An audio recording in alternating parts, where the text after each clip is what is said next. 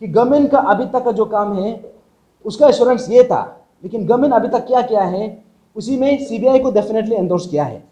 आया भी है ईडी को भी एंडोर्स किया है। और कोर्ट मॉनिटर प्रोब को भी वो लोग तरफ़ से लेटर तो लिखा है।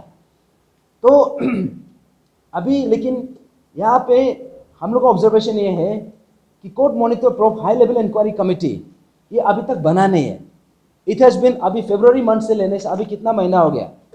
It has been almost six five six months तो अभी तक ये ये हाई लेवल इंक्वायरी कमेटी अभी तक क्यों नहीं बन पाया? इन तीसरा पॉइंट अभी तक ये जो no official from the system apart from तके जरंग हैज़ बिन अरेस्टेड अभी तक अरेस्ट नहीं हुआ है।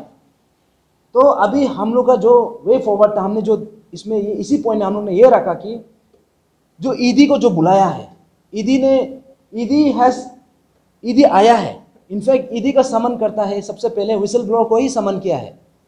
हमारा ये ऑब्जेक्टिव ये था कि जब ईडी आएगा तो जितना भी कल्प्रिट्स जो भी ऑफिशियल्स है चेयरमैन से लेके मेंबर से लेके सेक्रेटरी तक, सबका सबका जो जितना है, सबको इन्वेस्टिगेट किया जाएगा। लेकिन अभी तक ईडी का अपडेट हम लोग को कुछ पता नहीं चला है। और लेटेस्ट अपडेट तो यही है कि ईडी जो है, अभी तक जितना हम लोग का कंप्लेनेंट है इंक्लूडिंग द विसल ब्लॉर उसको भी समन किया है। और काम में क्या है? गुवाहाटी में।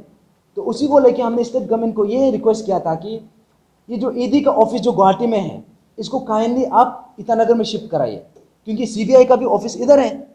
और ये चीज़ को हम जब ईदी ऑफ़िस में गए, जब गुवाहाटी में गया था, गुवाहाटी में ईडी भी वही बोला कि अगर स्टेट गवर्नमेंट अगर प्रोविज़न अगर वो लोग फैसिलिटेट करता है तो डेफिनेटली वो लोग ईटानगर में आएगा। लेकिन so far no facilitation has happen क्योंकि ईदी तो यहाँ में हम लोग को दिखाई नहीं दे रहा है। और ईदी से कुछ भी अपडेट नहीं है। ये है। और इसी में दूसरा लेवल, ये दूसरा पॉइंट ये है कि जो हाई लेवल इंक्वायरी कमेटी है कोर्ट मॉनिटर प्रोब अभी तक इनिशिएट भी नहीं हुआ है। अब इमेजिन करो कोर्ट मॉनिटर प्रोब फॉर्म करने के एक हफ़्ता भी नहीं लगता है। वो लोग लेटर लिखा है बोलता है। लेकिन सो फार सिक्स मंथ्स हो गया। So far it is not been form अभी तक हुआ नहीं है।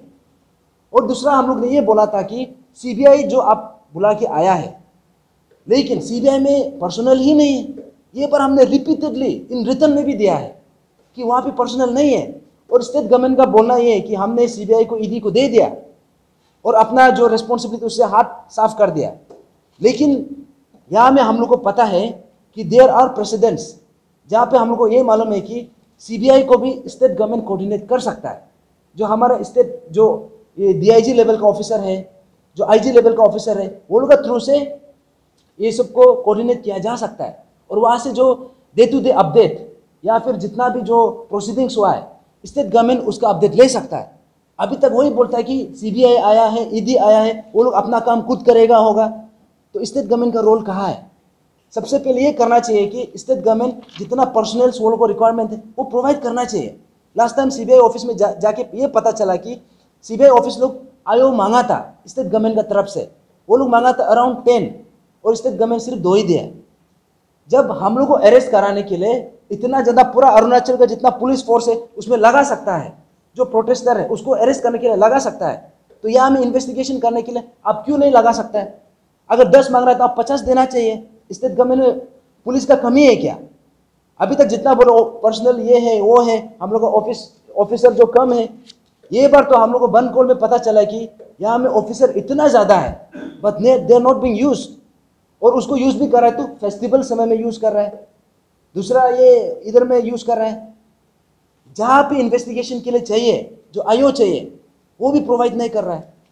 तो ये फ़र्स्ट पॉइंट में भी अभी तक हुआ नहीं है।